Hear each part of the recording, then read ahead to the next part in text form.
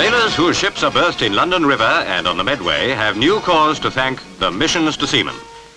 For men who are moored a long way from facilities ashore, it's providing a new recreation vessel. Life in these waters will be much more enjoyable as a result.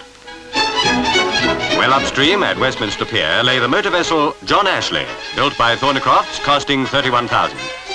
And the Duke of Edinburgh, president of the Missions to Seamen, went aboard to receive the little ship on behalf of the mission.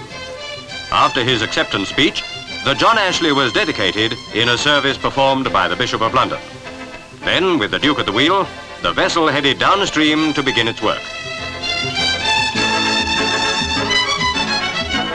The recreation room boasts a cinematograph, plenty of books and TV. There's an almost homely atmosphere. The chapel, where the Reverend Frederick Laight will hold services, is a reminder that John Ashley, after whom the boat is named, was a parson himself.